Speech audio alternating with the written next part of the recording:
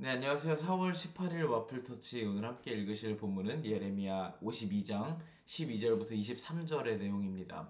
예레미야 52장은 예레미야서의 마지막 장이죠. 어, 그 대미를 장식하는 장이니만큼 굉장히 좀 이스라엘 백성들 입장에서는 끔찍하고 어, 기억하기도 싫은 그런 내용들이 담겨져 있습니다. 오늘 본 말씀 가장 앞부분에 보면 바벨로니아의 느부갓네살 왕 19년에 뭐 5월 10일 날 이런 일이 있었습니다. 이런 내용들을 말하면서 시작하고 있습니다. 이게 별거 아닌 내용일 수 있겠지만 어, 이스라엘 사람들 입장에서 굉장히 치욕스러운 한 문장이라고도 할 수 있을 것 같습니다. 지금 연호가 바뀐 것이죠. 원래라면은 뭐 시드기야 왕 몇 년에 이런 식으로 이야기를 하는 것이 이스라엘의 역사일 텐데 지금 느부갓네살 왕 몇 년에 이렇게 이야기를 하는 것만으로도 이미 통치권을 완전히 넘어갔고 시드기야의 그 통치하던 시대는 끝이 났다. 완전히 바벨론 통치하에 이스라엘이 넘어간 것이다라고 생각할 수가 있는 그런 문장인 것입니다. 어, 그러면서부터 나오는 내용들이 어떤 내용이냐? 이스라엘이 가장 끝까지 지키고 싶어 했었던 혹은 가장 끝까지 여기만큼은 함락되지 않을 거야 라고 확신했었다라고 할 수 있는 예루살렘이 함락되는 그런 모습이 오늘의 본문에 등장하고 있습니다. 사실 오늘 본문부터 시작해서 내일 본문까지 쭉 같은 내용이 이어지는데요. 12절부터 16절까지는 예루살렘 성에 있었던 성전, 하나님께 제사드렸던 그 성전이 파괴되는 장면이 나오고 있고요. 17절부터 23절까지는 이 바벨론 사람들이 얼마나 많은 것들을 약탈해 갔는가에 대한 이야기를 나누고 있습니다.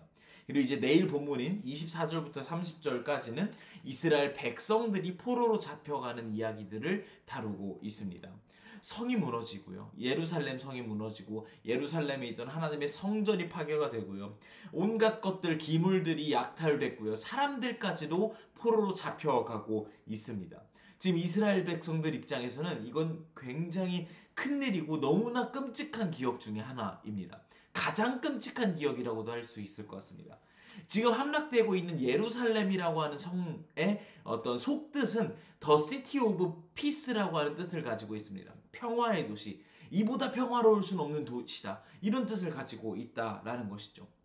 이스라엘 백성들 입장에서는 예루살렘이라는 곳은 그랬습니다. 여기만큼은 평화를 잃을 수가 없어. 왜냐하면 하나님께서 지키고 있기 때문이야. 그도 그럴 것이 이들 입장에서는 예루살렘이라는 곳은 자신의 믿음의 조상이라고 할 수 있는 아브라함이 여호와 이레라고 했던 그 말도 안 되는 그 하나님의 임재를 경험했던 곳이기도 할 뿐더러 성군 중의 성군인 다윗이 이곳이 이제 수도다라고 점 찍었던 그곳이면서 그의 아들인 어떤 그 마찬가지의 성군인 솔로몬이 하나님의 지혜를 받아서 하나님의 성전을 지었던 그 귀한 곳이 바로 예루살렘입니다. 이스라엘 백성들 입장에서는 예루살렘만큼은 결코 함락될 수가 없는 무너질 수가 없는 절대적 가치 마치 진리와도 같은 그런 곳이었단 말이죠. 그런데 그것이 무너지는 경험을 이스라엘 백성들이 오늘 내일 본문에 지금 느끼고 있는 것입니다. 그런데 사실 이런 경험은 이스라엘 백성들 뿐만 아니라 우리도 종종 느낀다라는 생각이 듭니다. 무슨 말일까요?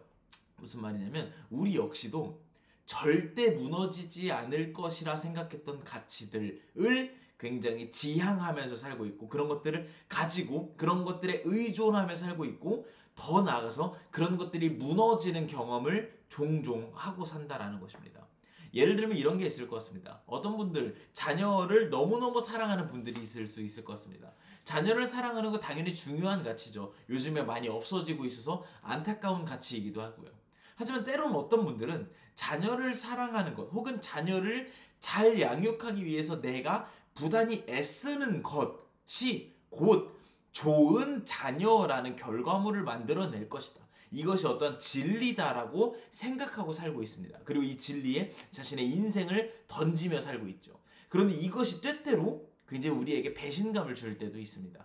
어, 내 자녀에게 내가 이런 애씀을 부여했으니 자녀는 바람직하게 성장하게 하는 것이 마땅한데 자녀가 마땅히 그렇지 않게 성장할 때가 있는 것이죠.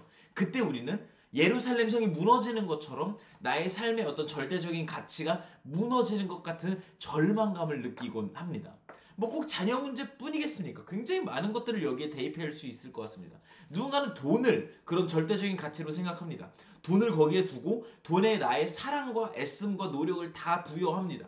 그리고 돈은 거기에 마땅한 결과물을 나에게 주어야 하는데 그렇지 않았을 때 진리가 망가졌을 때 우리는 실망하고 절망하죠.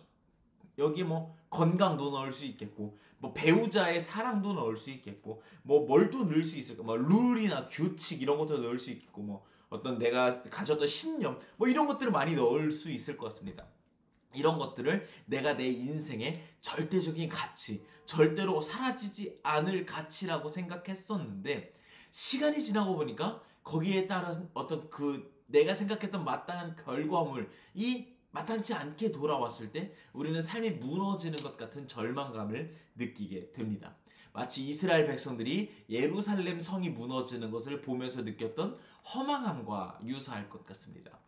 그리고 사실 저희는 성경 말씀을 굉장히 좀 뭐랄까 그런 삼자 입장에서 보기 때문에 느끼는 것이 또 하나 있습니다. 그것이 무엇이냐면 그 모든 일 가운데 주관하고 있는 분은 하나님이시라는 겁니다. 예루살렘 성이 무너지고 그것을 다시 회복시키실 이도 하나님이시고 그 모든 일 가운데 바벨론을 사용하시고 이 모든 어떤 주관하시는 분이 하나님이라는 사실을 우리는 볼 수가 있습니다. 사실 우리는 이런 사실을 굉장히 좀 뭐랄까 종교적으로 받아들이면 좀 겉핥기로 받아들이면 그래 하나님이 주권자시지 나는 그걸 믿지 아멘 하나님 모든 상황 가운데 하나님이 주권자이십니다 이렇게 고백하고 말 수 있습니다 그런데 사실 이것을 좀 더 실감한다면 우린 이 사실이 마냥 유쾌하게 다가오진 않을 것입니다. 어쩌면 불쾌하고 좀 싫을 수도 있죠.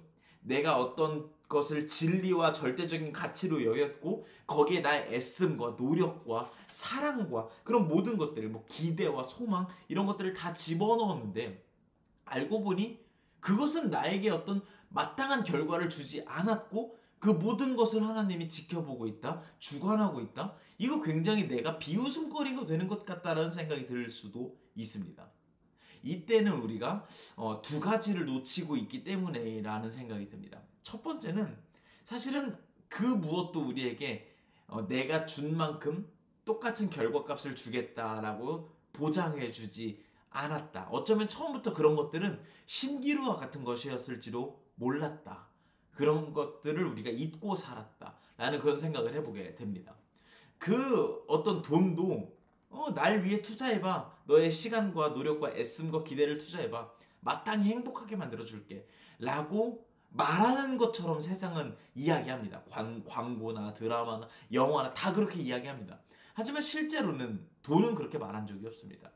허망한 신기루처럼 저 멀리 있을 뿐인 것이죠. 이것을 우리가 가끔 관, 간과하고 살았던 것은 아닐까 하는 생각이 듭니다. 그리고 두 번째로 우리가 놓치고 있었던 것은 이 모든 것을 주관하시는 하나님께서 우리를 너무나 많이 사랑하신다라는 것입니다. 내가 생각할 때 나의 삶을 좌지우지하는 존재가 있고 내가 그것을 떨쳐낼 능력이 없다. 나보다 능력이 너무나 큰, 큰 존재라 내가 그걸 떨쳐낼 수가 없다. 라고 했을 때 우리는 그것이 너무 두렵습니다. 혹은 너무 불쾌합니다. 그런데 그 대상이 나를 너무 사랑한다면 그래서 나를 사랑하기에 나를 위해서 나를 더 좋은 방향으로 이끌어가기 위해서 때로는 나를 기다려주기도 하고 나를 이끌기도 하고 나의 상황 가운데 주권을 휘두르시기도 한다라는 것을 우리가 깨달을 때 그때 우리는 두려움보다는 안심을 하게 됩니다.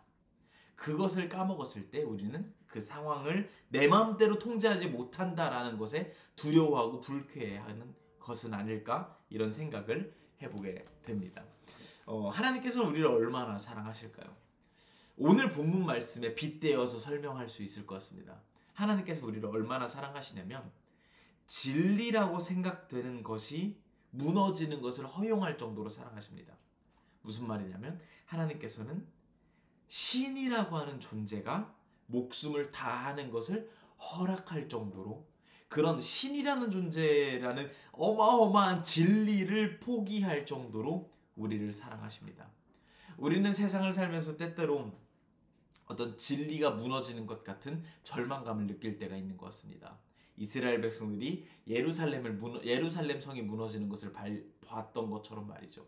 그런데 그때 우리는 어, 쉽게 절망하고 무너질 수 있지만 그럼에도 불구하고 우리가 그 모든 상황 가운데서 다시 일어설 어떤 힘과 용기를 얻을 수 있는 근거는 어디에 있는가?